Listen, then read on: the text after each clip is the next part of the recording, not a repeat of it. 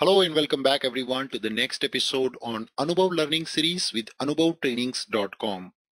In our last episode, we talked about our demo scenario for ChatGPT and S4 HANA integration with the help of SAP BTP platform. We have set up our BTP account.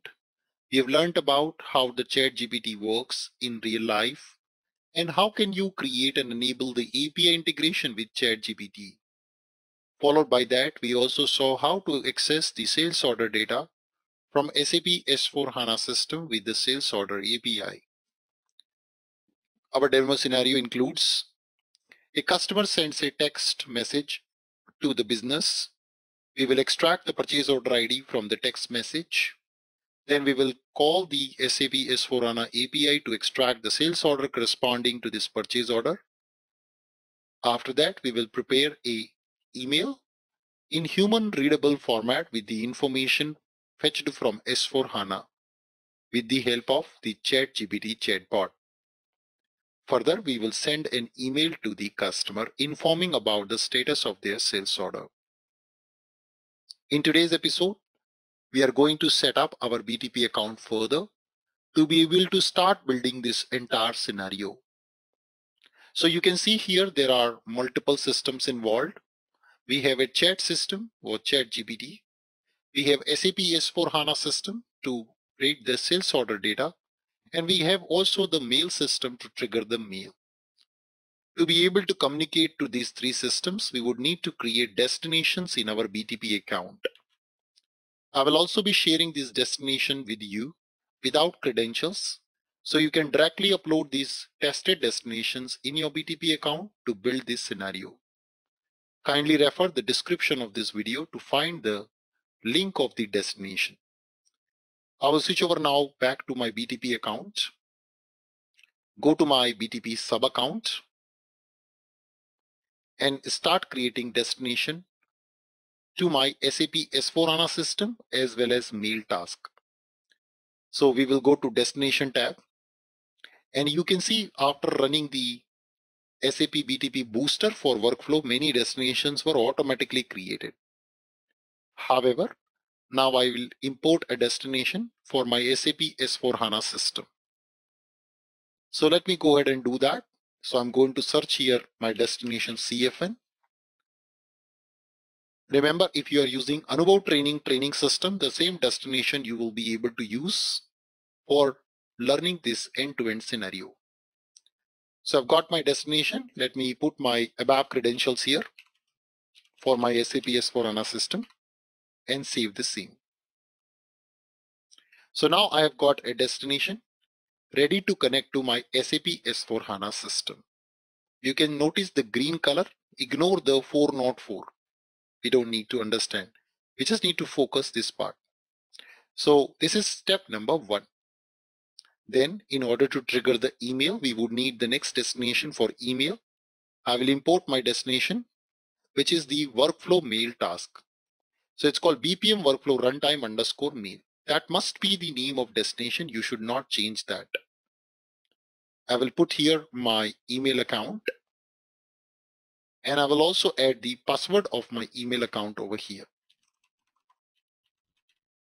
I save the same.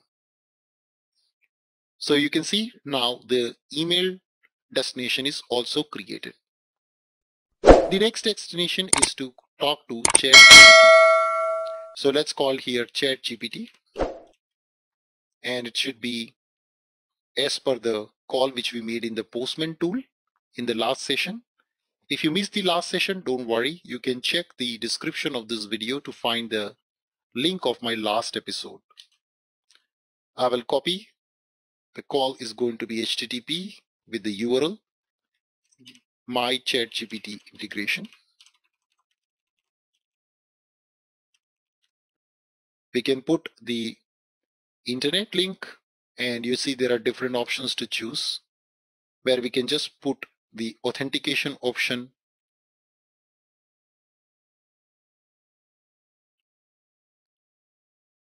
we will pass the username as bearer and in the password we are going to pass the token of ChatGPT. So I've already copied the token which I'm passing it over there. Yes, just make sure that this is the correct token. Yes, we click on save button and now my destination for ChatGPT is also ready. I will be sharing this destination with all of you. Please make sure that you need to update the password or your own token, API token into this destination after you upload. You've got all the three destinations ready. Our next step will be to start with the dev tool. We go to SAP BTP Cockpit sub-account with services, instances and subscriptions to create a new dev space for Business Application Studio. This is the central place where we are going to do all the development of our BTP workflow. Let me connect. I log in and create a new dev space in the Bash Studio. We will choose the option full stack development with SAP BTP workflow module to get started with the BTP workflow. You can actually choose anything you like. Maybe we can choose Fiori with BTP workflow module. We click on create the dev space. Now the dev space is getting created. So once my dev space is started, I will go inside the dev space inside my BTP Bash account to start developing a new workflow project from scratch.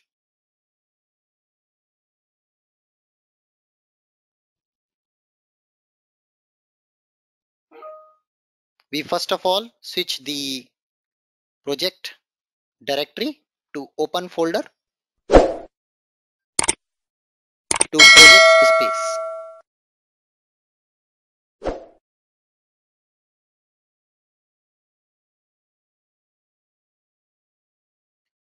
And now I can just go ahead and create a new project from template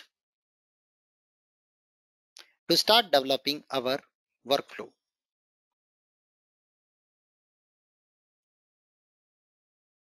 We will choose a basic multi-target application, also known as MTA project, chat GPT integration.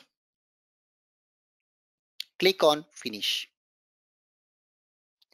The system will restart my Bash Studio. And now I've got a very basic project. We can right click on MTA file and create a MTA module from template to create our first BTP workflow. We now choose a BTP workflow module and click on next.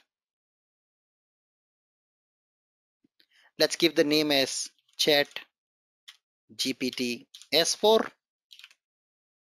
Next, give a namespace Anubhav com.anubhav trainings. Workflow name is chat GPT sales order. Get sales order email to customer from PO. This will now create a BTP workflow for us with a workflow module. If you are interested to learn end-to-end -end about SAP BTP workflow, Please feel free to subscribe our SAP BTP workflow training. I assume you are already taken that training and you're comfortable with BTP workflow. Keeping that in mind, I will proceed the next part of this session. When you double click on the workflow, workflow file under the workflows folder, it will open up the designer where we can go ahead and design our BTP workflow. You can see it is loading the BTP workflow now. In the BTP workflow, we should be able to design the entire sequence of flow of our work.